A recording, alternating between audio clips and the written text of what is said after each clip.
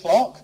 Um, we're here under rather false pretenses uh, because uh, the original team uh, that was due to talk about global value chains, dynamics and uncertainty in a confused world order suffered from both dynamics and confusion and various other things. Tomas Hult could not come because his parents are really ill and Hafiz Mirza fell over and broke his um, elbow. So, what do we do when we have when a, when a team has problems? It brings on substitutes, and we have got two of the best substitutes you can imagine. We've got Sarianna Lundan and Ari Van Assche here as substitutes, so they save the day. So we, we are hoping to uh, produce a coherent uh, program under conditions of extreme uncertainty and ambiguity and all the rest of it. So here we are to talk about global value chains. Our other disaster is one of our presenters has not shown up yet. So um, we, you can see that we, we are really operating in a world of uncertainty and, and that very much fits what we're doing. But the program is as follows. I will be talking about this in a second. Uh, I'm the interim chairman as Tomas couldn't make it. And then it's going to be followed by Ari talking about decoupling China from the US value chain and Sarianna talking about uncertainty in a confused world order with special reference to Germany and Europe. Okay, so I will start. Um, when, when I was asked to do this, I was also looking at this issue of VUCA. I don't know how many of you are familiar uh, with VUCA. VUCA is originally a US military term for dealing with situations that the military finds itself in. And the, the four acronyms of VUCA are volatility, uncertainty, complexity, and ambiguity. And it struck me that this was a really good means of trying to look at the structure of global value chains under these extreme and changing conditions. Now, the other part of the jargon here that, that I use is, is a bit of my own jargon, which is the global factory. And there once was a question on a Cambridge history paper, and the, the question was, the Holy Roman Empire was not holy, it was not Roman, and it was not an empire. Discuss. And the global factory is not global, and it's not a factory. It's the idea, the idea of the global factory is the coordination of activities by a distributed multinational enterprise. So what I'm going to try and do is look at the configuration of global value chains or supply chains, if you prefer, under conditions of volatility, uncertainty, complexity, and ambiguity. And what, what the idea of this is, is to look at the theoretical drivers of distributed network multinational enterprises and to look at the reaction of these fundamental drivers in terms of the changes in the, the arrival or the changes or the increase, if you like, of volatility, uncertainty, complexity and ambiguity. So this is a really stripped down version of how we might apply theory to a situation of VUCA. So what I've got here are the three, in my mind, the three key determinants of the structure and coordination of the global factory. The internalization decision, looking at the split between externalized activities, outsourced activities, and activities that are controlled by the multinational enterprise the location decision, looking at how this affects location of the different activities. And the third one is the coordination or the governance or the information role of multinationals. And so what I've tried to do is look at each of these drivers, each of these theoretical underpinnings, and look at what the impact of these various external factors are. So you can regard this, this first matrix, you can regard these either as conjectures arising from the theory, or you can regard them as predictions, which are, as you'll see, all testable, all subject to empirical evidence, empirical re, uh, refutation, or you can re regard them as the ravings of a madman. The choice is, is yours. So essentially what I've tried to do then is to look at the key theoretical drivers and to look at the impact on, on these theoretical drivers of these external conditions and then try to see how this affects management and strategy and decision making in distributed multinational enterprises. So if we look at each, each of these cells in the matrix, each of these cells has, if you like, a prediction or, well, we, prediction's too strong, has an argument about how that particular factor will protect, affect that particular theoretical driver and then how that would work out in management decision making. So if we take the first, we take the first column of internalization, what would we expect the impact of increased volatility, uncertainty, complexity and ambiguity to be on the configuration and the structure and the management of multinational enterprises. If we have increased volatility, you can argue that the reaction of the company will be to increase its, try to increase its control, try to increase um, the control of the firm over its various activities. It, would, it, it might try to decrease outsourcing, it might try to increase management control of those things that are absolutely core to its existence to protect itself against increased volatility. With uncertainty, we might, uh, we, it depends where the sources of the volatility and the, and the uncertainty are, of course. Because you might, if the uncertainty is coming from the external environment, you might try to offset that by letting somebody else handle the uncertainty.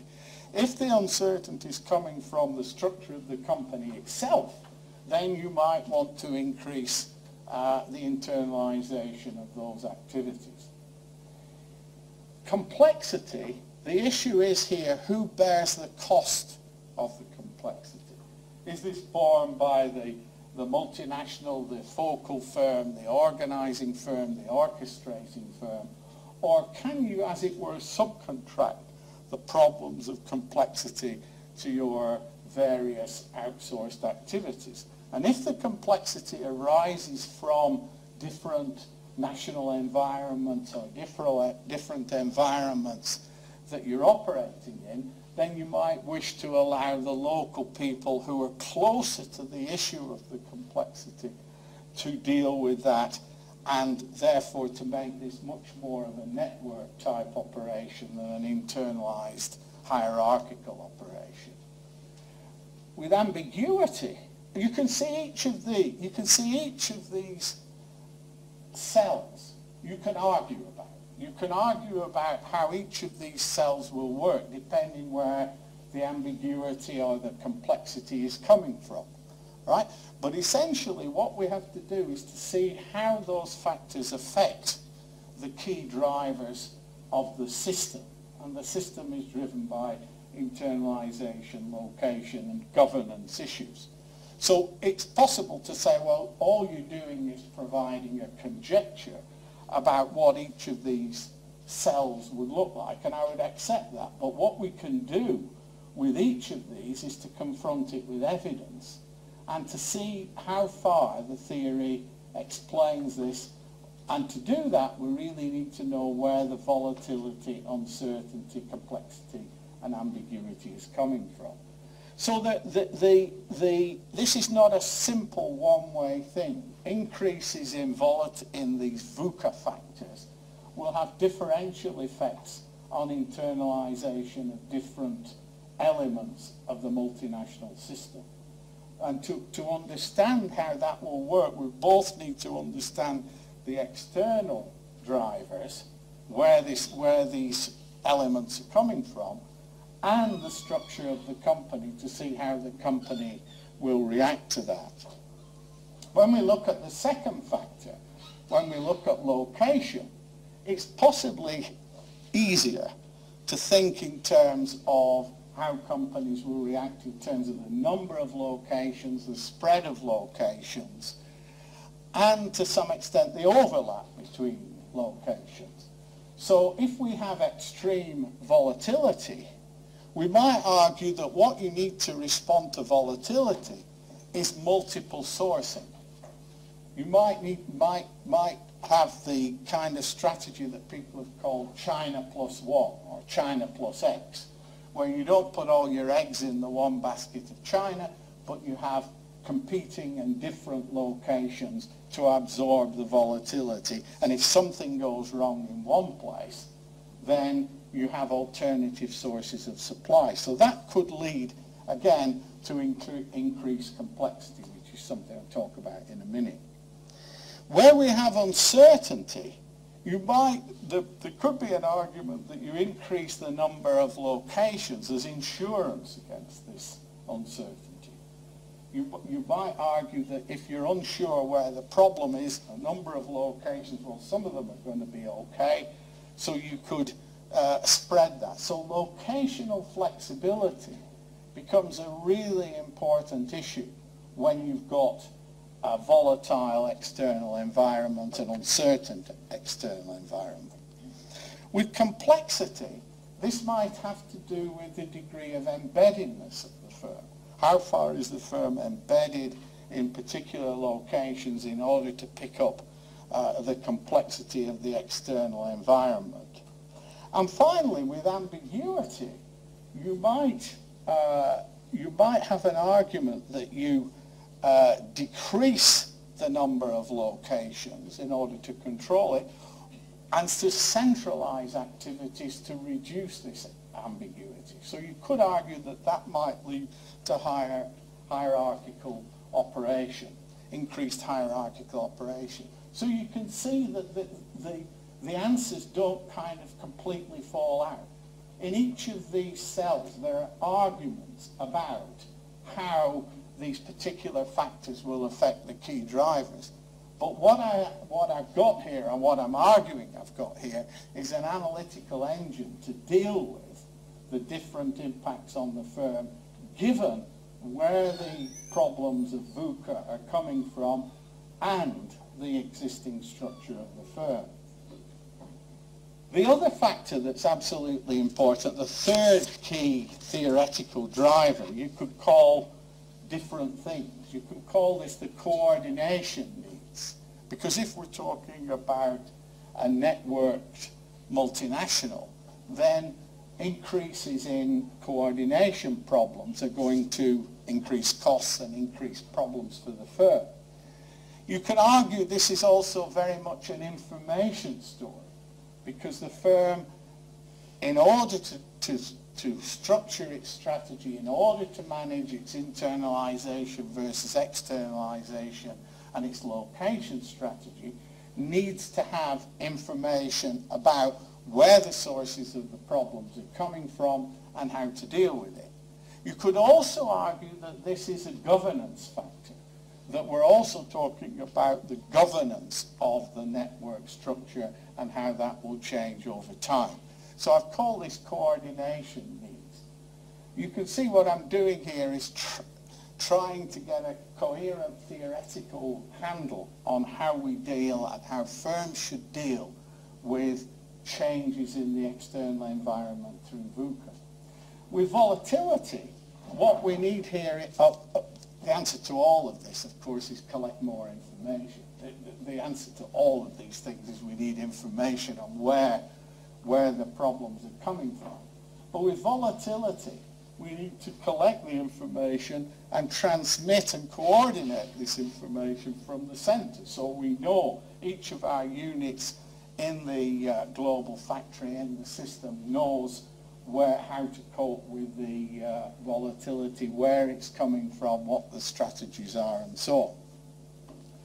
With uncertainty, it's much more about the local part and the central part being able to communicate, to get a fix on information and communicate it both to and from the centre. With complexity, again, you need to co uh, collect information, but the particular parts of the multinational that would have access to this first are the periphery. So that suggests a kind of information structure from the periphery inwards.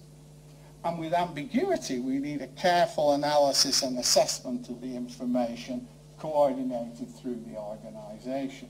So these are initial thoughts about how we might have a theory of the reaction of multinational firms to increases in the problems of the world economy arising from these VUCA factors. Uh, you can see it's a very early stage. But what, the, what, what I've tried to do is to, is to show that the, um, the problems and the very difficult problems that are summed up by VUCA, we do have analytical engines to be able to deal with it. We do have the theory to be able to deal with it. What we don't necessarily have is the right kind of information to test this theory and to, within each cell, to show how the different balance of the uh, factors will alter the structure of the global factory. So another way of looking at this is to say this is the start of a research program to try and figure out how over time multinationals will react to these increased problems from the external environment under these various headings. So I'll stop there. We'll take questions at the end. The four of us will sit there and we'll take questions at the end and hand over to Peter if he can.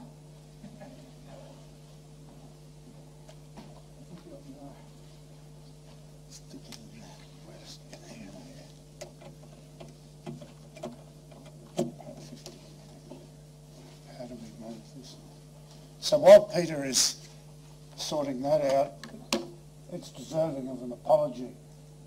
Alain Verbeke called a JIBS editors meeting um,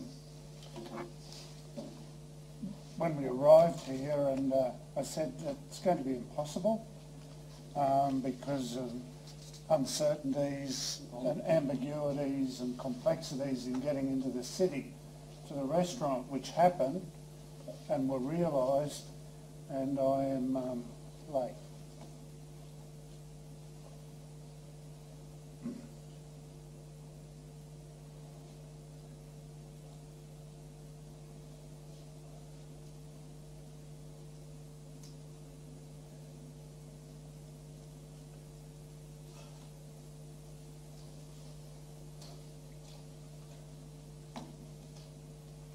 What?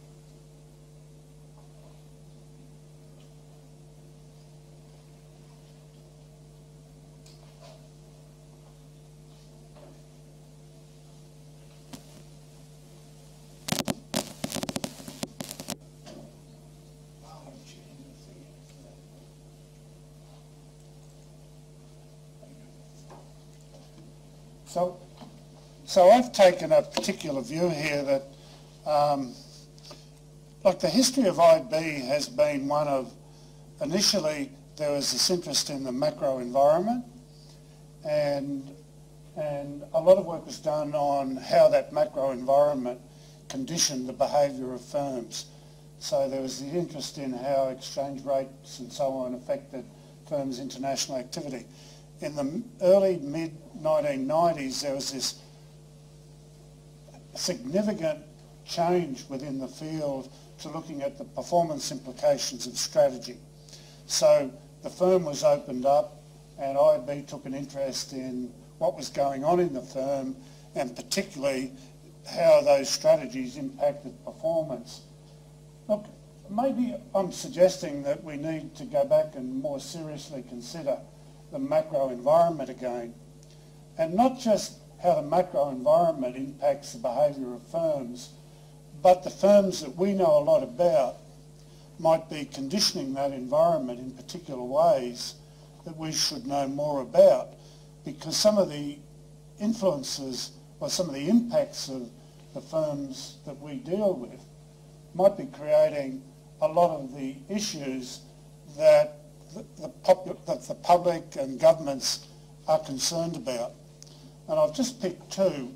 What, in particular, I mean, this is more now taking the phenomenological view that IB takes an interest in uh, phenomena that are going on. And I've just thought about maybe two. One is waste. I don't know if it's the same in your country as mine, but we have these incredibly creative television shows and media campaigns on waste and what is going on with waste. And the second is something that we don't normally think about, and that's the low inflation environment that we live in today. I mean, most of our economies, particularly the advanced economies, are struggling with a phenomenon that we've not experienced before, and our governments are experimenting with how to, to get out of these situations. And um, when I when I listen to the debate about these things, I'm thinking, well, you know, if, if smart economists don't have answers to a lot of these these questions, what, what is what is really going on in our world? So I've only got two slides, and the first slide talks about a lot of traditional things like our interest is in IB, the internationalisation of production. Right? And that's changing. It always will change because our interest is firms in markets. And if markets are changing, firms are going to have to change their organisational forms and their strategies to deal in those changing markets. So markets are changing and, they, and we, we now are in a more acute, seemingly geopolitical context than we have been for a while. So there's there's something going on with markets and our geopolitical context. And for some time now, the value chain has become one of our centres of attention. Right? It's not just the firm anymore, it's firms and it's also the value chain, right? Which includes the behaviour of many firms uh, who are organised very differently, who are in different parts of the world. And what that brings to us is this issue of location. Clearly, core IB, uh, uh, core to IB is location. It always has been. So, and when we talk about location, you can't avoid talking about geopolitical context because all those locations have different politics and sociologies and so on. So this is core IB. It's the location decision remains fundamental and in, in that location decision, um, issues of geopolitical uncertainties and so on really need to be considered. So the geopolitical context is critical. It's we have this elevated interest in global value chains. I mean, we heard this morning at another one of these sessions what should be our unit of analysis uh, and we've got a selection if we think about the value chain. But um, maybe one is the task or the activity. And if, if it is that, then one issue that comes to my, my, my mind is, okay, whatever goes on in the value chain in all of those different locations, wherever they may be, there are externalities created. Right? There are impacts on third parties not not party to that, that transaction. And, and some of those externalities are going to be positive and some of those externalities will be negative. And as an IB field, I think it behoves us to take a greater interest in those externalities, which we traditionally don't do. And I'm not sure the economists do it either. But it's those externalities that are probably creating a lot of the negative effects that we observe, like the wastes. Now, if they are, I live in the bottom end of the South Pacific. So we don't end up with these islands of plastic waste that float around the Pacific. But there are massive islands of plastic waste floating around the Pacific, some of which are bigger than most of those island nations. Where did that come from? What we don't really know. Right, but they came from somewhere and someone should explain why that happened. Right, so location is important. The activities of firms producing whatever they're producing in different parts of the world is important. And some of those activities are going to produce negative externalities. Who's going to pay for those things? So, you know, it's a long time since I've been an economist, but orthodox economics would say that this is where government policy enters. Well, that's a problem with these things because we're dealing with value chains across borders. Um, and so which governments are going to institute policy that's going to uh, address these externalities? Will there be coordinated policies across countries? Unlikely. Will there be some transnational policy? Possible, but you know, it's going to take a lot of negotiation to get that. So one of my messages is that we really need to think about global value chains at, at other levels, about the activities that are going on in these, about the impacts of those activities wherever they're created and even beyond wherever they're created, like islands of plastic in the South Pacific. And the next issue is, is government the best institution to look for remedies for these things? And maybe it's not. Maybe we should think about the firm as being the most appropriate institution to target for addressing these externalities that they and others are creating.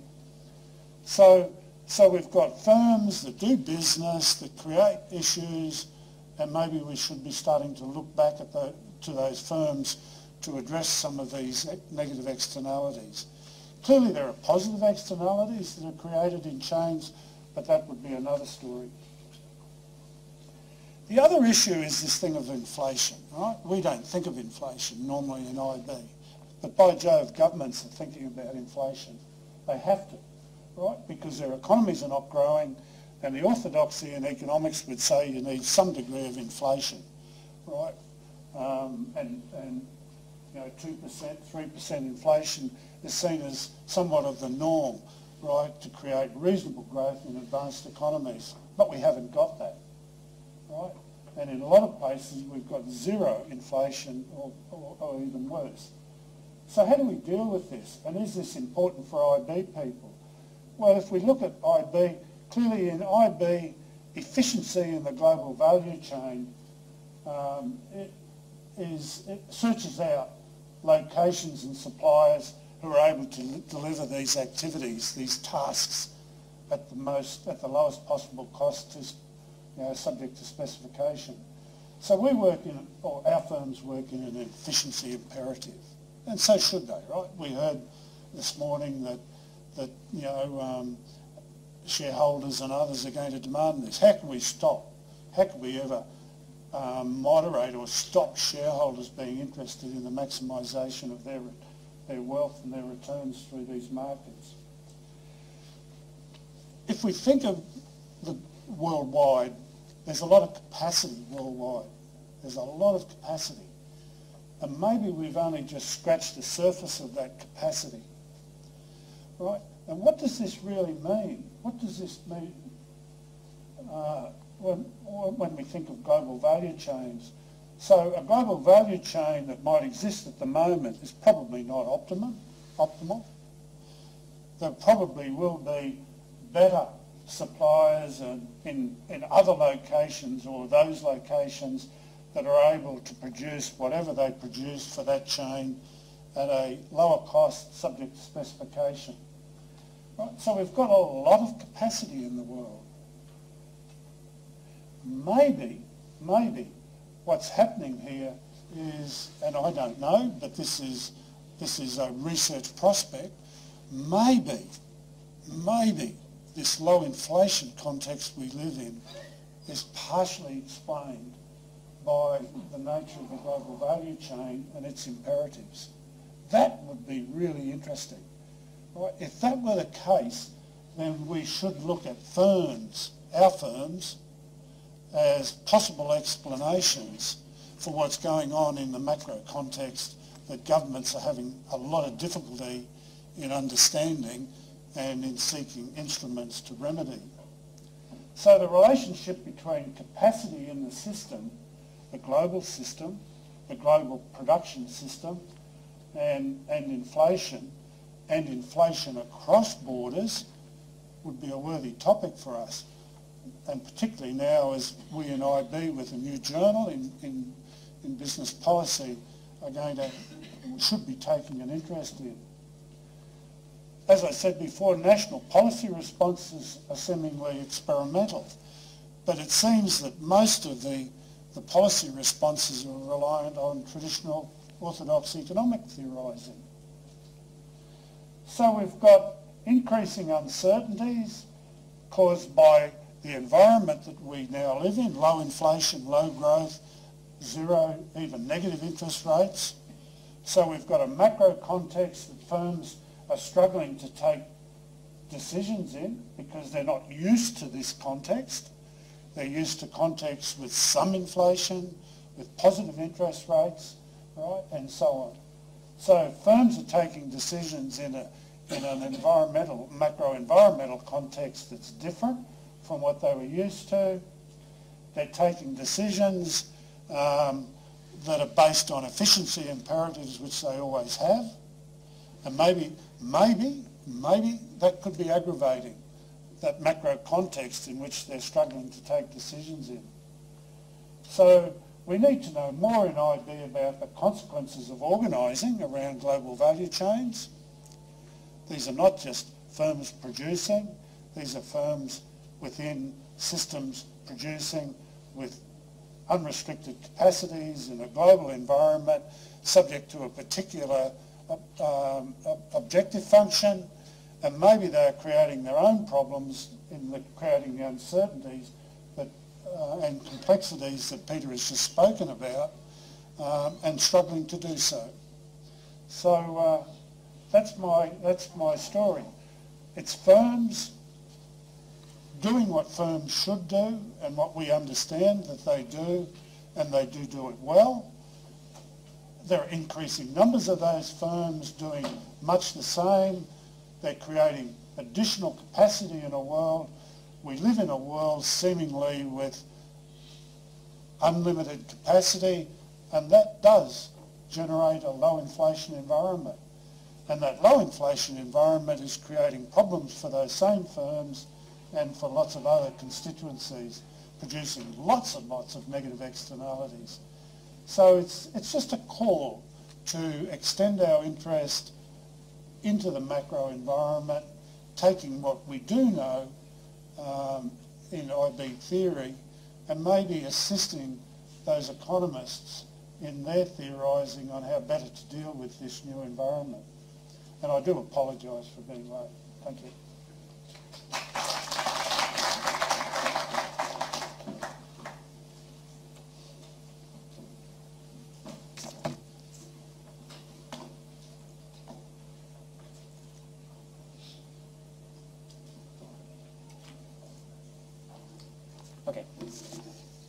So uh, we started the session today with a, a, presentation by Peter Buckley who talked about um, VUCA and how understanding VUCA is important uh, to also understand the organization of global value chains. And then we had Peter Liesch who um, came and indicated that we should be focusing more on tasks and that we should be also thinking about how changing organizations of global value chains has implications for understanding the macro environment and so what I'm going to do is I'm going to take one application, which is the Sino-US trade war, uh, to uh, try to think a bit about what uh, the implications is of China's positioning global value chains on the potential outcome of this uh, trade war. Okay, um, so Um, so here we've got a a picture that shows uh, um, uh, Donald Trump who's decoupling the Chinese trade. Uh, so um, uh, there's a lot of economists right now that are starting to say that maybe the end game of this uh, Sino-US trade war is uh, decoupling of value chains, and so um, so I'll, I'll, get a bit more into that as well. So so when we think about the Sino-US trade war, um, uh, we always obviously think about uh, Donald Trump, um, but actually the origin of the trade war uh, goes uh, back much further. So there have been concerns about the Chinese economy for quite a while. These concerns existed in the United States, but also in Canada, also in Europe, in many other countries, where there is the idea that the Chinese system is um, uh, unfairly advantageous towards uh, Chinese companies not only in the local markets but also when these firms uh, internationalize. And so some of these concerns that, that we hear a lot about is uh, the fact that uh, foreign firms, when they enter into the Chinese market, that they have to um, uh, transfer technology to their joint venture partner. Other people are concerned about the fact that U.S. Uh, companies pay too little uh, for technology licenses. Uh, there are concerns that in certain key industries, foreign firms are not allowed to operate. Uh, there are concerns about uh, Chinese industrial policy where there are uh, big subsidies being given to state-owned enterprises and private enterprises through China's banking system. There's concerns about predatory outward investment, um, uh, cyber theft, et cetera, et cetera. So, so this is kind of the concerns where uh, that Donald Trump also built on when he decided to start a trade war, where uh, tariffs on average in 2017 on Chinese imports were 3.1%. Uh, but then in 2018, um, uh, uh, President Trump decided to put uh, tariffs, uh, uh, higher tariffs on certain imports from China for national security reasons, which brought the average up to 12.4%. China retaliated by putting their own tariffs. Um, United States retaliated again. It went up to 18%. There was another couple of rounds of retaliations, and right now we're at about 26%. so, um, and of course, this is on the uh, U.S. import side. Uh, so, but on the exports toward China, the, um, the, the, tariffs are around the same. So the logic behind this increase in tariffs is that uh, Donald Trump is trying to put uh, economic pressure onto the Chinese government, where the idea is that if you put tariffs, you're making the companies operating in China less competitive. Uh, their prices are going to start going up. And so consumers in the United States are going to say, well, these products are getting more expensive. Let's substitute away toward products from other countries. Uh, and then this then would lead to a reduction in production and employment uh, in China. Some companies, as Peter Buckley also indicated, some companies um, might kind of find that um, they have other sources of where they can make products, so they might be moving uh, production away. And so this puts a lot of economic pressure on the Chinese government, and this would then force them to um, uh, change their um, uh, economic system in China. Okay? Now, depending on who you talk to, uh, some people might say that actually the pressure on the Chinese government is very big, and other people will say actually that the pressure is not as big. So if you look at tweets of uh, Donald Trump, he will say that ultimately uh, there is no reason for the U.S. consumer to pay the tariffs. Uh, all the hurt will be on China, and this is because the tariffs can be completely avoided if you buy from a non-tariff country or you buy the product inside the United States. Um, uh, that is zero tariffs because many tariff companies will be leaving uh, China for Vietnam or to other countries. So his idea is these tariffs are making uh, Chinese companies or companies in China so uncompetitive that uh, there will be a, a substitution towards sourcing from other countries. Okay. Other people have been saying, well, this is just not the case. I mean, so here is a statement of the footwear distributors and retailers of America. So these are all the big footwear uh, producers like Nike and uh, New Balance and, and many other uh, companies. And so they uh, indicate that um, there have been suggestions that industries should quickly shift sourcing to countries other than China in the wake of these additional tariff threats. While our industry has been moving away from China for some time now because wages are going up uh, significantly, footwear is a very capital-intensive industry with years of planning required to make sourcing decisions, and companies cannot simply move factories to adjust to these changes. If you listen to what the CEO of Walmart said, this was the same concern that they were putting up. So, so a question that kind of comes up then is, well, how substitutable are Chinese exports? Um, uh, and does all this depend on China's position in uh, global value chains? And so the argument I would make is that it matters uh, a lot. So this is a question that economists have been looking at quite a bit, looking at trade elasticities, uh, but they actually have not been taking into account very much global value chains. So the argument that economists have been making is that um, certain products are more differentiated and so it's more difficult to substitute uh, for each other, while others are more homogenized and these are more easily substitutable. And so they've been really looking at the characteristics of the products. In international business, however, there has been a significant literature on organizational flexibility, uh, together with uh, Kogut and uh, Kulatilaka and other people basing on uh, real options theory, where you might want to create a China plus one strategy where you've got uh, companies having operations in different countries, and if there's a shock hitting one country, you can just move production to the other country. Okay? Uh, so, um, uh, so this production switching um, is very important, but it depends on how easy it is to switch production. And one could make the argument that uh, more routine activities or tasks are more easily moved from one factory to another factory uh, than the more differentiated tasks um, uh, where you need a very specific capability. So, so one could make the argument that if you take the smile of value creation, um, that these standardized services here at the bottom are services that are footloose and easily substitutable. And as you kind of move towards these uh, ends of the, the smile curve, then actually you start finding out that they are becoming less substitutable. In addition to that, if you are a country that is specializing in final assembly, which is often kind of one of these activities here, and you're selling to the United States, then you're being hit directly by tariffs. The more you start moving upstream, ultimately you're not directly being affected anymore, and it actually allows you to get out as well. Now, all this is really important because when we look at China, uh, for anybody that's been going there in the last 30 years, China today is not the same as China 30 years ago. When China opened up in the 1980s, they opened up and started specializing in very labor-intensive assembly activities, which were really kind of at the bottom of the chain.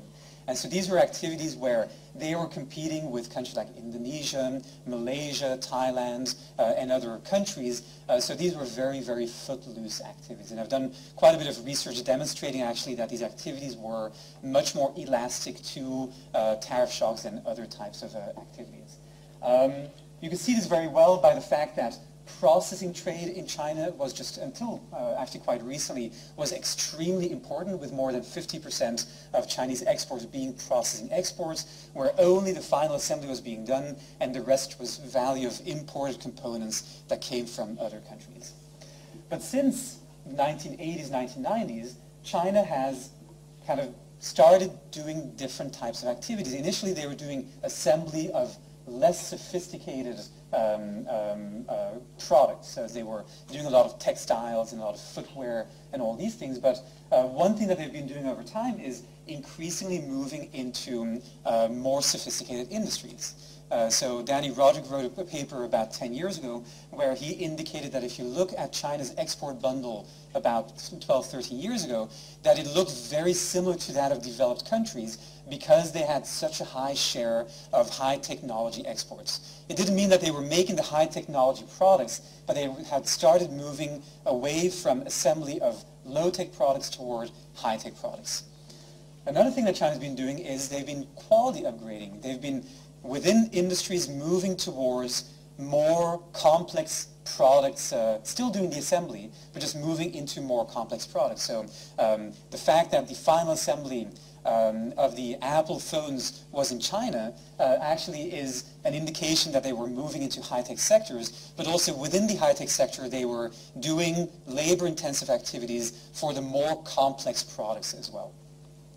But this is actually not where it ended. So beyond industry upgrading, quality upgrading, China has also increasingly uh, moving, been moving away from uh, final assembly toward producing inputs. And so here's a very nice example uh, that I just found recently, but if you want to find more hard empirical evidence of this, it's a very nice paper by Heiwai Tang in the American Economic Review. It just demonstrates um, what is being done um, of the Apple iPhone in China.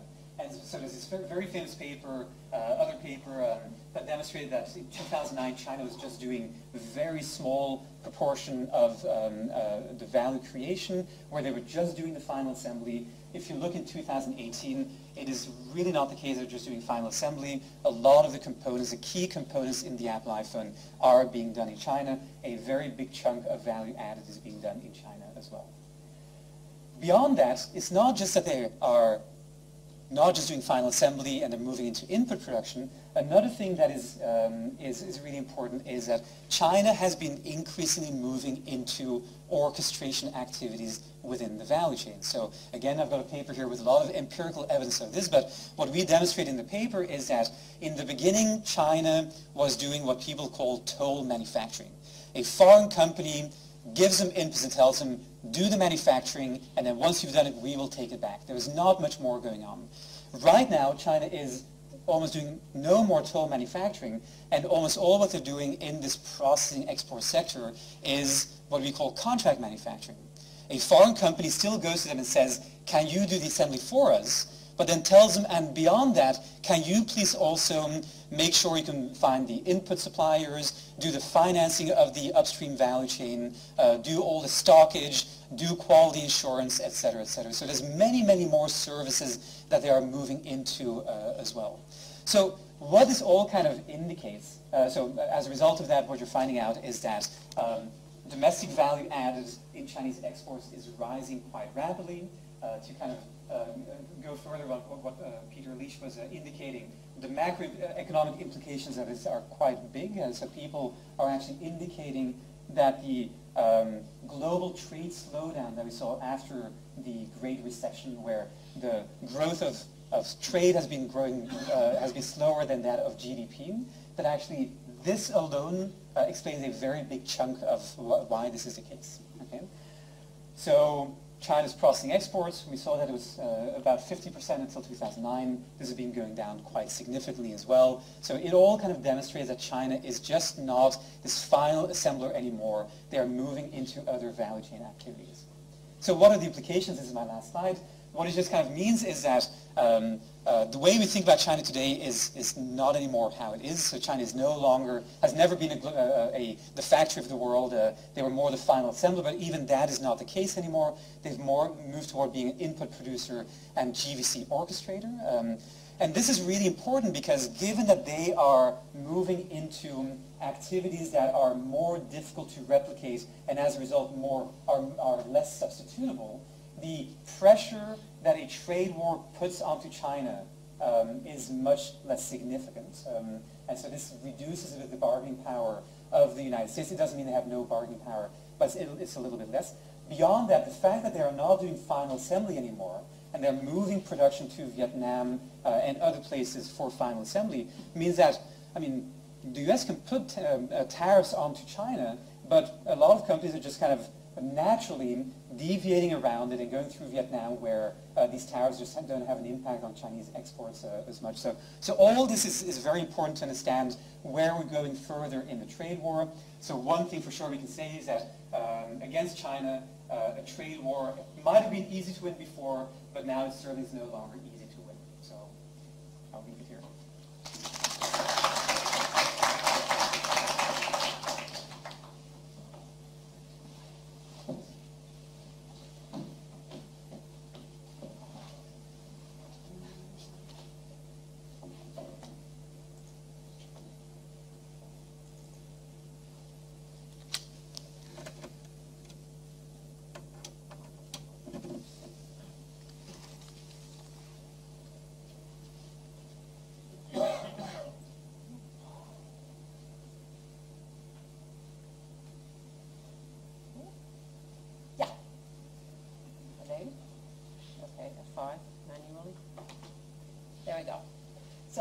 Good afternoon from me as well. Um, I will conclude uh, the presentations by getting even more specific. Okay. Clicky thing is not working. Uh, Peter Buckley um, talked in his presentation about the middle wheel here.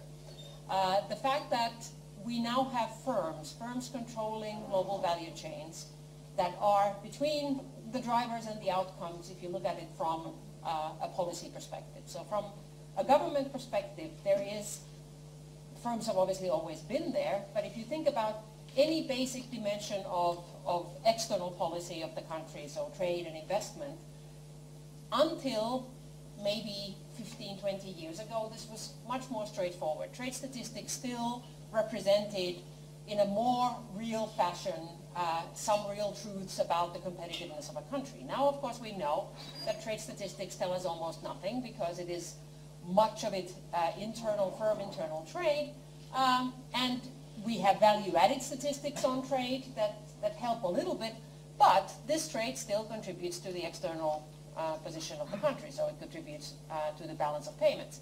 And in some cases, in the case of the United States, this is perceived uh, to be a problem. Uh, in other cases, like Germany that I will talk about, um, it's perceived to be a problem in the other direction, uh, being a surplus country. But the main issue here is that firms are now between the ability of countries to um, effectively execute policy. They are in a completely different domain than they were before, and Peter Liesch was also referring to this.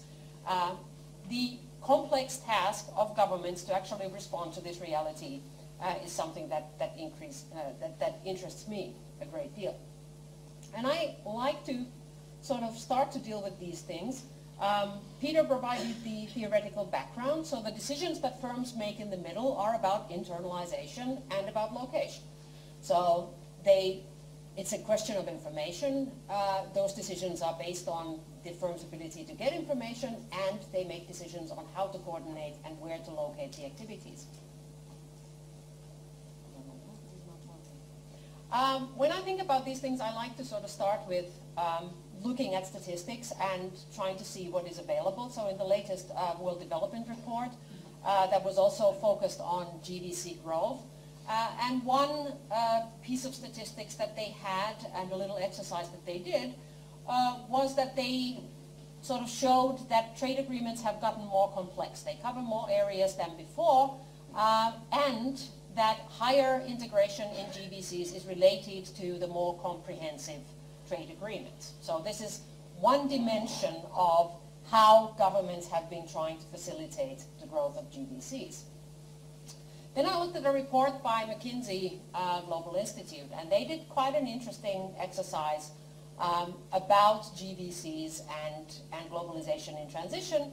And many of these things, of course, we know. There is a declining intensity of trade in goods, but there is an increasing intensity of trade in services and particularly servitization, which I refuse to believe is a word, uh, but apparently refers to the increasing value added from services that is related to, to manufacturing. Um, we have more intra-regional trade. That's been a trend for a long time, but that is intensifying, and it will also be relevant to the German component of the, of the story that I'm telling today. There's, of course, more knowledge intensity uh, in the trade and in these value chains, and that's something that Ari was referring to with respect to, to China, and it's obviously something that a country like Germany uh, that is technologically advanced is concerned with. Now here's a fun bubble graph. So if we start with uh, the EU 28, uh, ignore the timeline because that's an animation, uh, but this represents the end result in 2017. So the bubbles kind of show uh, how the exports and imports of the EU 28 have evolved over time. Uh, the brown bubbles at the bottom are uh, Asia, including China. The yellow bubbles are China alone, just to you know draw out the individual contribution of China.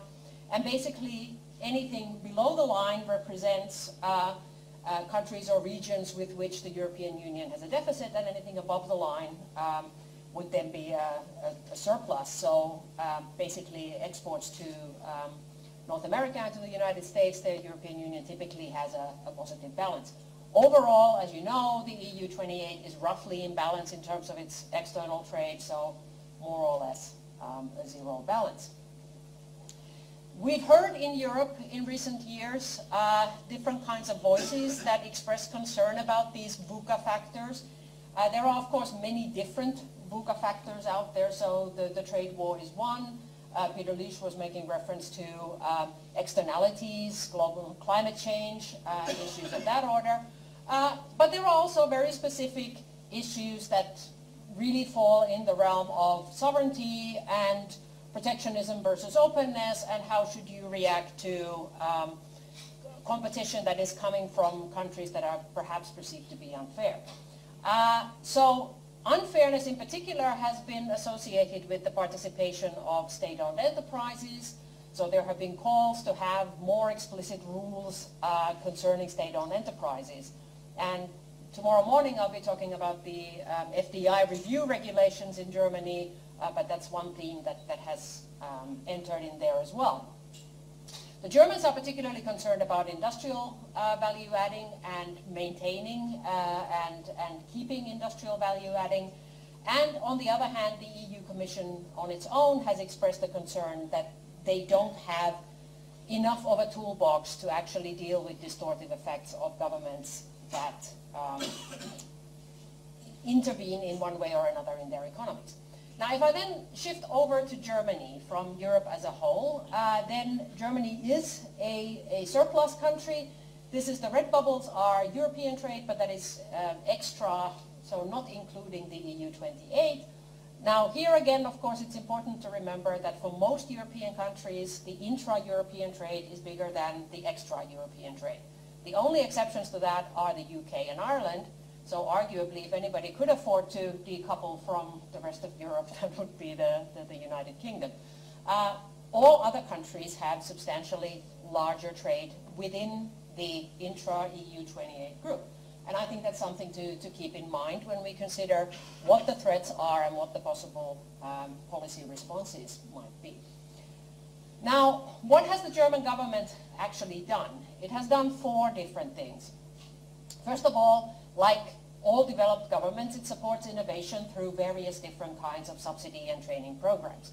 Germany has been extremely busy, not now, but about 20 years ago, uh, signing bilateral investment treaties. Uh, it's actually signed the most number of bilateral treaties, so 130 of them.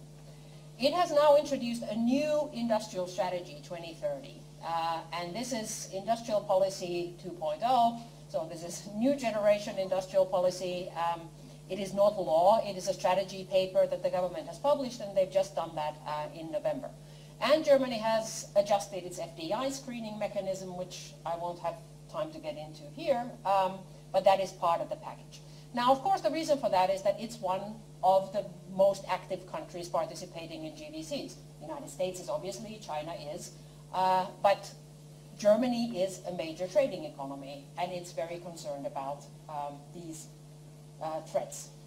Uh, the changes to the innovation system are very standard, so these are not really anything that you wouldn't see in other countries. The, the apprenticeship, the training programs in Germany are well known. There's nothing very um, exciting in this one. But then we get to the BITs. Um, the BITs will be replaced in time with European uh, BITs, but that process will take quite a long time.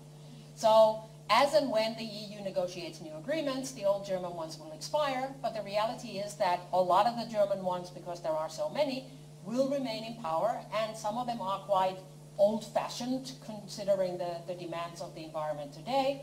Uh, so for instance, they don't include any um, uh, state investor dispute settlement clauses, which would be normally in the new generation of agreements.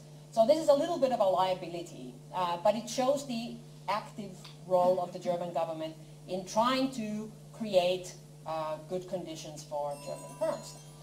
Now, is that a timer for me? the new industrial strategy uh, is in response to uh, several kind of numbered uh, issues. So unequal rules of the game, higher protectionism, slowdown, digital transformation. They identify both uh, kind of intrinsic reasons, so technological change, digitalization, the new kind of manufacturing economy, plus political risks uh, like trade wars, Brexit, uh, and then climate change as a separate issue. And they have actually issued a new Made in Germany National Industrial Strategy. Now, what does that actually contain? Um, in addition to the rules on FDI, uh, there are four things that they are tinkering with, all of which I find They are quite detailed, but I find them quite interesting. So the first one is that countries have always had uh, rules uh, on technology transfer to third countries.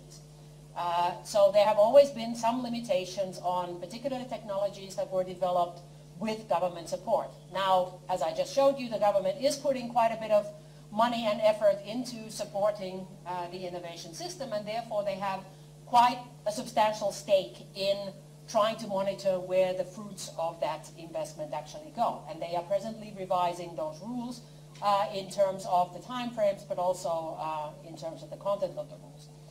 The second one uh, is the foreign trade law, which includes the, the investment provisions.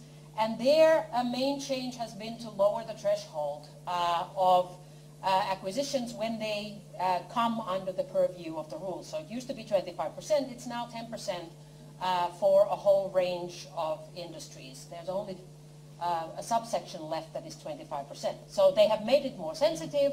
They are also now taking into account cumulative um, ownership changes. So not just one-time ownership changes, but cumulative uh, ownership changes.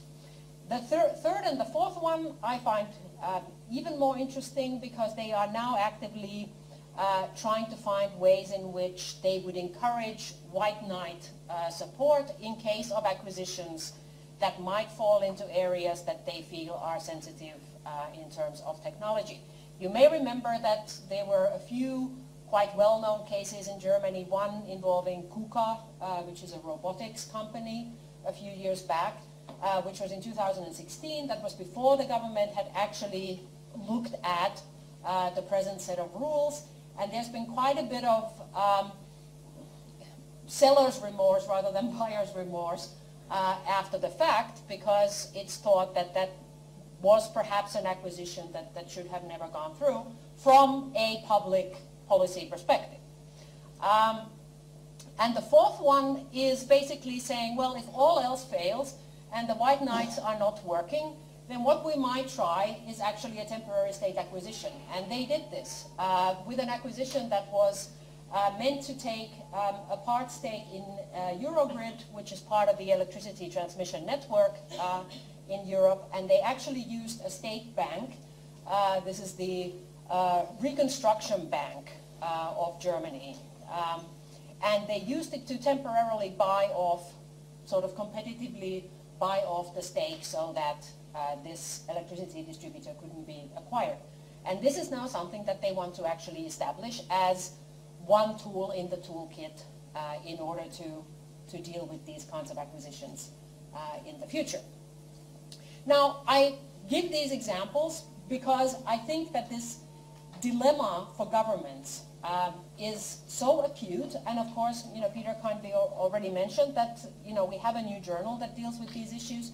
We have, in fact, uh, a special issue that deals with these issues. Ari is one of the editors of that special issue, and that still has a submission timeline that is open. Uh, so until March, March 1st, you can submit full papers on this issue. And the goal is precisely to begin to deal with the issue that while we in IB tend to look at the firm point of view and we say, how do firms adjust to these uncertainties? There is a corresponding, you know, mirror uncertainty on the policymaker side on how do we adjust policies given the adjustment that the firms make. Uh, and given what the, the previous speaker said, I was, of course, watching TV um, the other day looking at the election results. They were interviewing a, a British business person uh, saying, well, what do you think now? And he says, well, but it's good, you know, now we have, we have some certainty, we are moving on, we know what's happening. And then the interviewer said, yes, but don't you think this will be very bad, it, it, the uncertainty about the rules pertaining to Europe? And he said, no, no, business will find a way, um, government needs to get out of the way, you know, we need to get this deal done. And I can fully understand his sentiment, so uncertainty, of course, is, is bad for investment. At the same time, I thought, maybe that is true for his business, but it's assuming a great deal of substitutability between different sources of supply, depends of course entirely on the industry, uh, but we've, we have so much research on location specificity of certain activities, of the importance of co-location, on the uh, geographic specificity of certain innovative activities, and I thought, that's kind of brave to, to assume that the adjustment will be carried out by firms without too much friction. I think firms actually need governments quite desperately uh, in their corner in this time, but the information problem is a mirror problem on both sides. Thank you.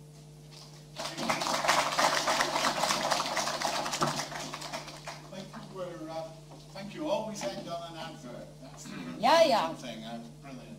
Okay, we've had a range of presentations there, and we're happy to take any questions or debate points that, uh, there are on rising from global value chains, and particularly the area perhaps of, uh, policy and the role of government policy. Jose?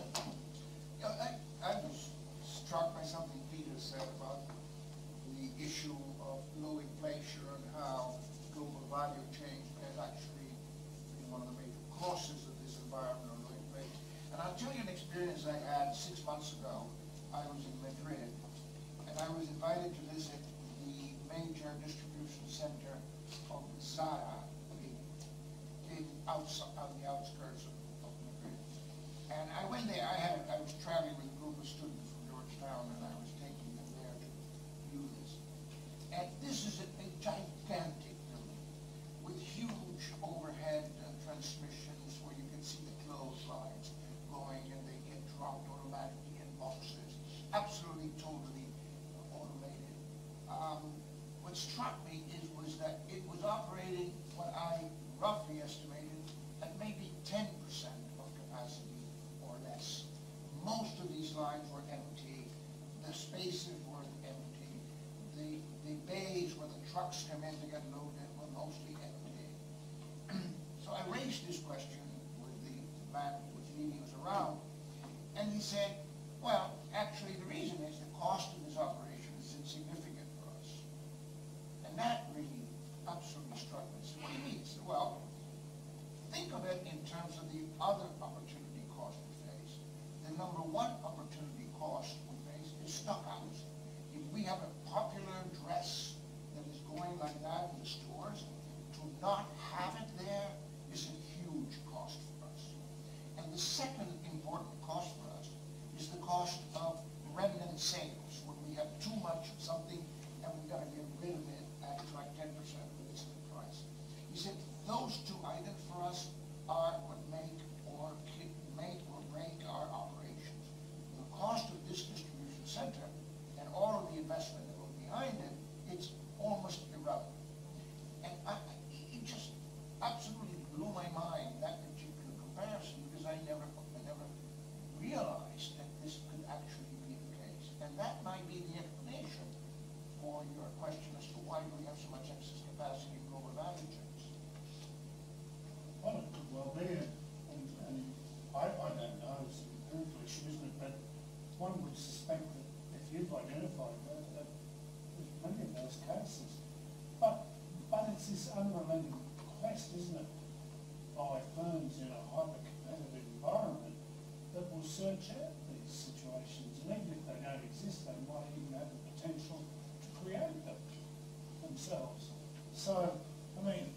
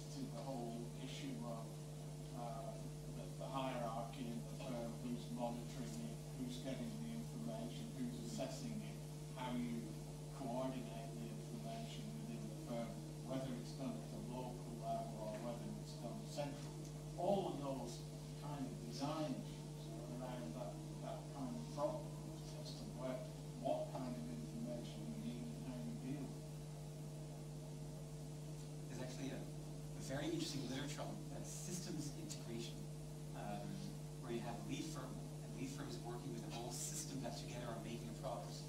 And so, so the question is how do you make sure that all these companies that are, are not owned by the same company, that um, the bottlenecks that having this whole system working together uh, can be resolved. And so the whole question is, what type of knowledge should the lead firm have in order to get rid of the bottlenecks that literature kind of indicates that lead firms need to know more than they make. Uh, uh so they actually need to know the technological particularities of many of their suppliers, not because they're making that component themselves, but if there is a, an issue of how to integrate a component into the final product, that then um, you have the knowledge of how to do that. And so, so now this kind of work I'm doing this with a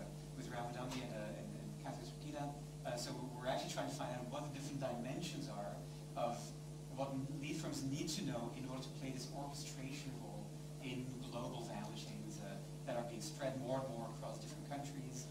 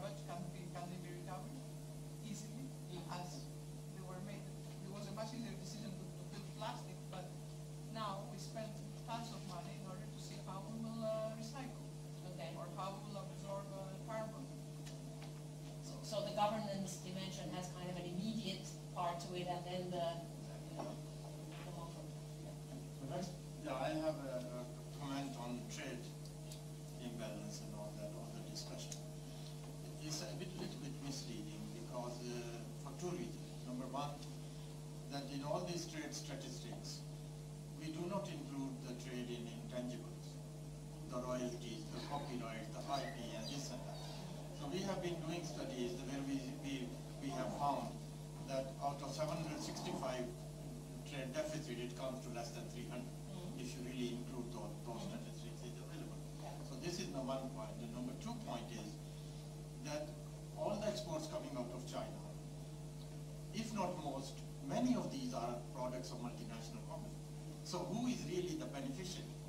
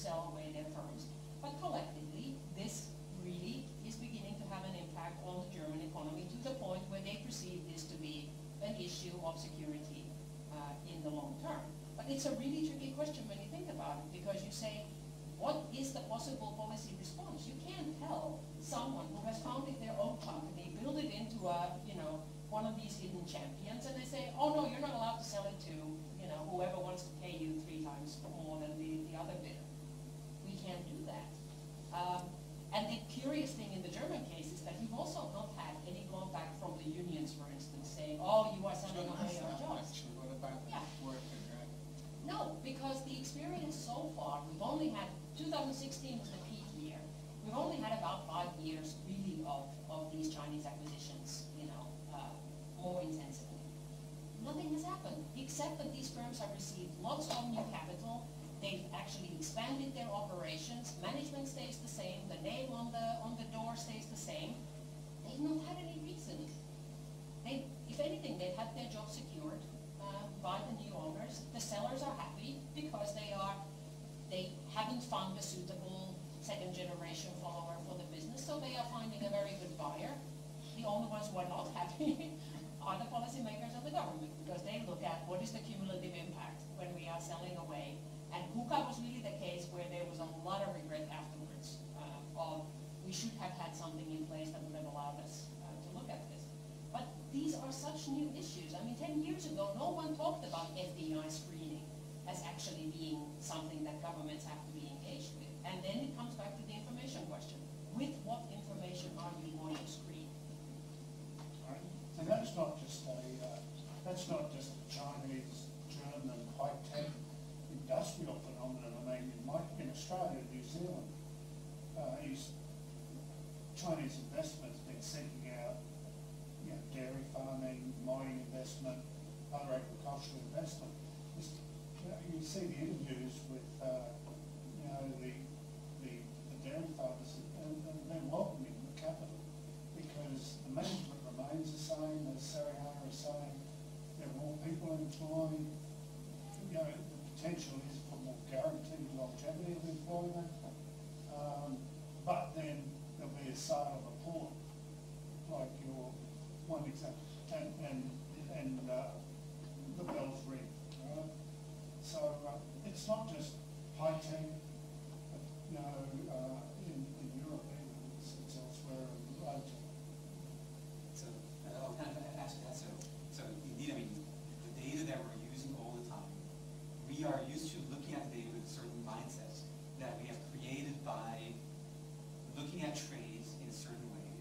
starting to find out that actually it doesn't uh, really fit very well. I'll give you another example uh, besides the, the trade balance with, uh, between China and the United States. Uh, uh, so Canada exports about 70% of their products to the United States. And so there's a big discussion that has been going on for decades and decades about the fact that Canada is too reliant on the U.S. economy. Now, in reality, actually, it's not the case that everything that we are selling to the United States is being consumed by U.S. consumers. In reality, a very significant chunk of what we export from Canada to the United States is embedded into final products that then actually goes to all these other countries that we are trying to diversify to.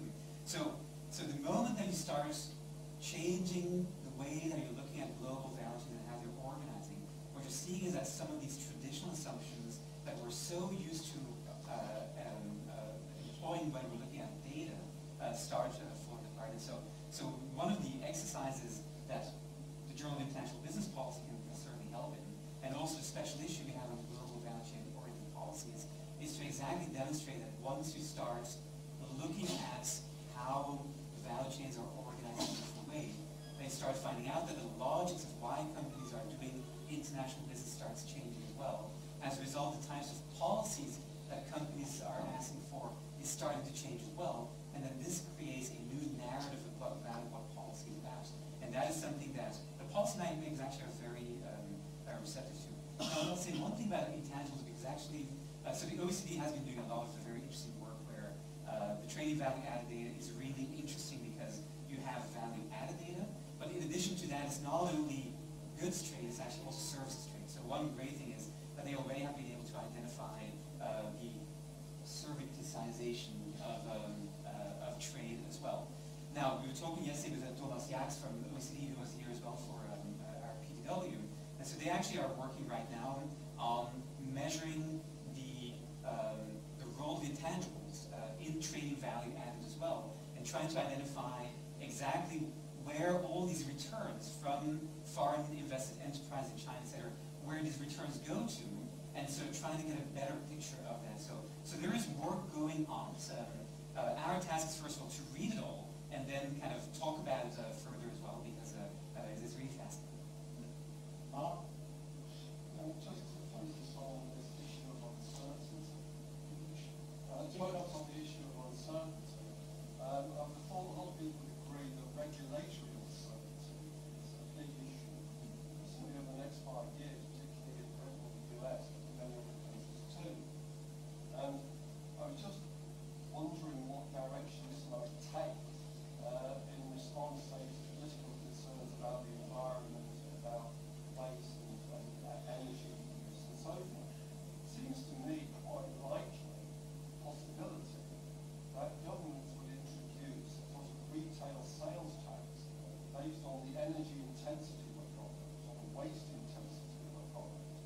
And if that happens, which can happen in many cases through the natural by individual national governments, it would destroy quite a lot of long-distance value chains and stroke, and be a very popular political measure because it would rehome a lot of jobs, and if there were compensating tax changes to avoid too much pain for consumers, it, it would make a very good um, inflection package. That leads me to the view that value chains, are- international value chains are very vulnerable to even small changes in regulatory policy. So um, I, I- I presume that politicians will be very uh, skeptical of using word tax because uh, that is never being uh, portrayed well. So um, there have been some things that have happened in order to make companies responsible for their own waste. So for example, in Belgium, but in, in, Europe in general, uh, so in the white goods sector, um, there is a requirement that the producer of white goods are, uh, have to take back the product afterwards and have to do the recycling of the products themselves. So by making the companies responsible, they actually um, have, have forced uh, um, uh, different organizations in different countries to find ways how to do this without hurting them, themselves too much. In Belgium, for example, what they decided to do was create an organization that does all the collecting, and then they just charge a higher price themselves onto uh, the consumers. So instead of having the government uh, in the taxes, it's the companies that are asking for a higher price and then doing it themselves. c'est-à-dire des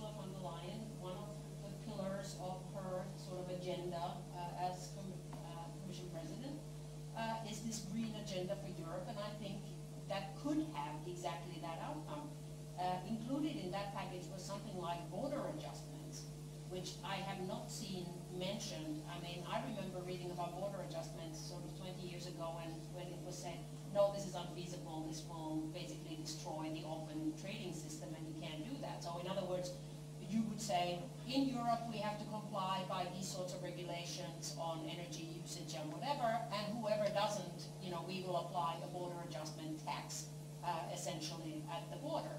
Um, so just seeing the word, you know, uh, makes you think, oh, this, this is a possibility. Um, and again, I'm keeping in mind that for most European countries, intra-European trade is still a good bit more important than extra-European trade. So you can afford to go some way with those sorts of policies without completely crippling um, the, the economy.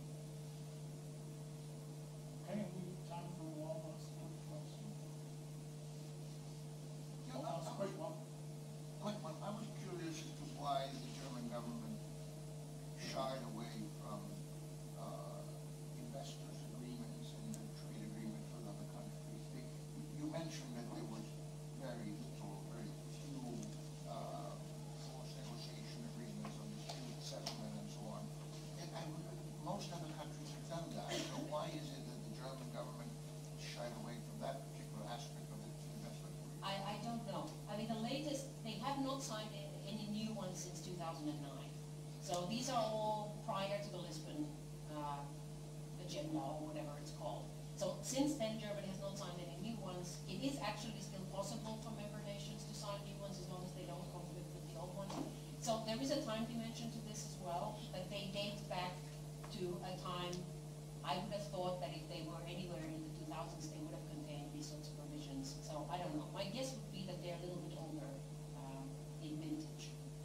Uh, But that's just a guess. One of the major arguments of these agreements is to provide uh, security for investors and therefore stimulate more foreign direct investment in these countries with which you sign agreements. Yeah. But if there is no, if there's no aspect of, of uh, resolving conflict, then that sort of diminishes. I think there must be something, but not direct investor-state um, in dispute settlement. So I'm guessing there's some kind of an arbitration clause. You can take it to the people in Stockholm or, or whoever they are, who are, yeah, which are actually kind of